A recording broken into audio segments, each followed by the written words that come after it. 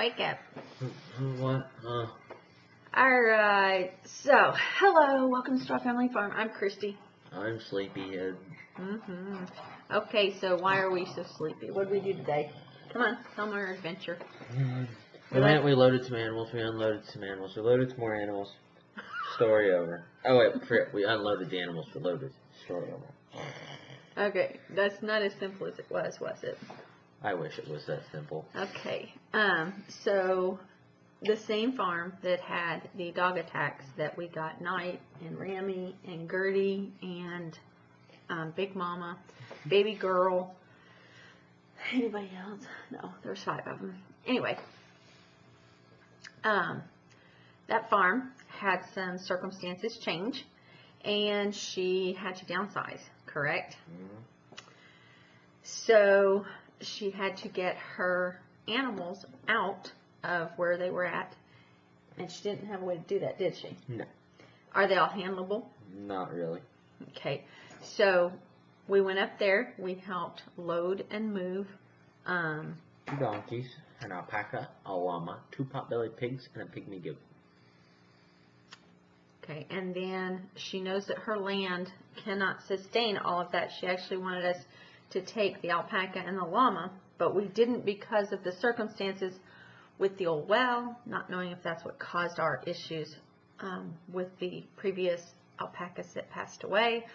Um, because if you followed us very long, you know that there's something on our land that um, the alpacas will be fine. Even Hope like went up, she ate, she turned around, convulsed, and passed away. We paid for necropsy. There was a big investigation, and all that could be figured out is alpacas are not indigenous to this area. We did soil samples, we did hay samples, we uh, closed off an old well, had the government come in and um, take care of, close up an old well. Uh, thought maybe that was polluting, didn't know, had a necropsy. They thought at first that they were diabetic. Went through this whole rigmarole. It was horrible. So we won't take the alpaca or the llama. So we are on the hunt for an active, for a new home for them, but they're going to stay at her home. So she's looking and we're looking. If you are interested in alpaca and a llama, uh, please get in touch with us. They do need a good home because she doesn't have the land to sustain all of them. And because of life circumstances, she had to move. So, um, anyway, now we did bring home something, didn't we? Yep, brown, two sheepies. Yep. Fluffy and Nina. Fluffy and Nina, and what kind of sheepies are they? Merinos. Merinos.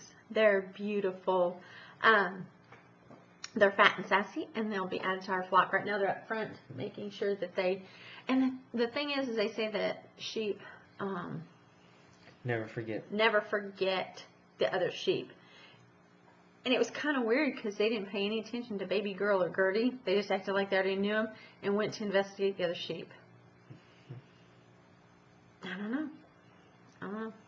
So anyway, we have a little bit of footage for you. There's a couple of pictures of everything loaded in our trailer. Um, the big stuff was to the front of the trailer, and the two little pot-bellied pigs were to the back. What was the hardest to load? No, none of these are like really The friendly. llama. No, It was the pain to get in the trailer. that's true. He The was. donkey was the pain to get caught. The Mhm. big donkey was. What about the pig? And the pig was just all around pain. so anyway, we've got a couple of cute little photos of them all loaded up, and then we have the homecoming Mhm. coming up next. So hope you enjoy it. We're just really tired. Um, it's a lot of work to load and unload them, especially when it takes two of us to physically do it, huh? Yeah, it's a two-man crew. It is. Um, just so you know, I have to put my tushy into it to hold some of them. Right? Put that rope behind them from the halter. Comes off and.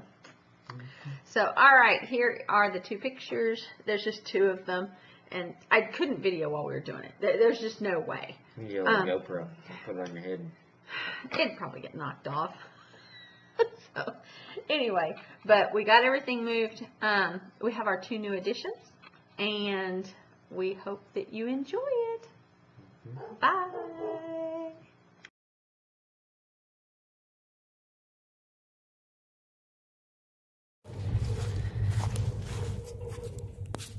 Okay, so RJ, what's going on? Well, we got two new members today. Okay. We're gonna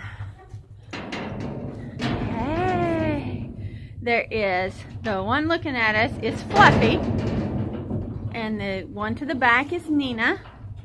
Nina ends with 99 and Fluffy ends with zeros on their tags. That's how we tell them apart. I'm not like magical or anything, and I don't know them yet. But due to life changes, this is the same flock that had been attacked by the dogs, and um, they are with Gertie in that, right? Yep. So, all right, let's let them in here, and we're curious to see if, um, and hopefully my camera will come up. My battery is starting to die, but we're gonna see if they remember Gertie and baby girl. Yep, I got it. So we're gonna come on. Oh, the cat and Toby's.